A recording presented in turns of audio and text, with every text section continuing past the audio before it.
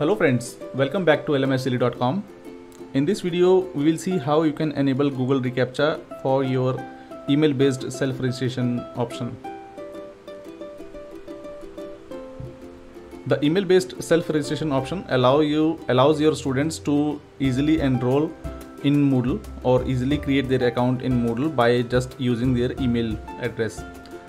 So in order to set up the Google reCAPTCHA element for your registration form. All you need to do is to make sure that you are logged into the Moodle as the admin. And once you are there just go to this site admin link here. And then go to the plugins page and scroll down to the bottom until you see this authentication area. So just click on this authentication link.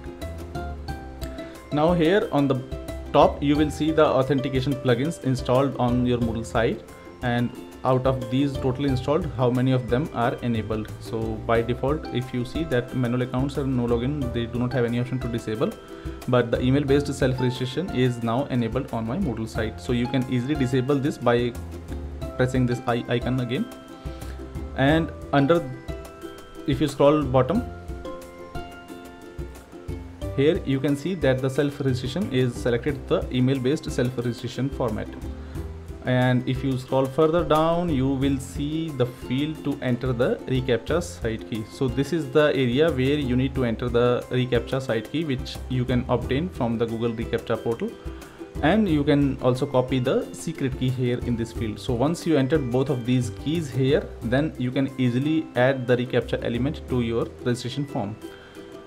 So once you have entered this information then you need to uh, go to this email based self registration form here or you can also go to this by going to the settings page here. And then click on enable reCAPTCHA element to yes.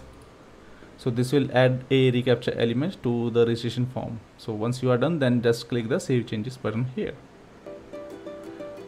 So this is how you can easily add the reCAPTCHA element to your Moodle email based self registration authentication method. Thank you very much for watching this video. If you like this video please don't forget to click the subscribe button as well as press the bell icon. That will really help me to create more engaging content for you in future. I really appreciate for watching until this point and really thank you for thank you very much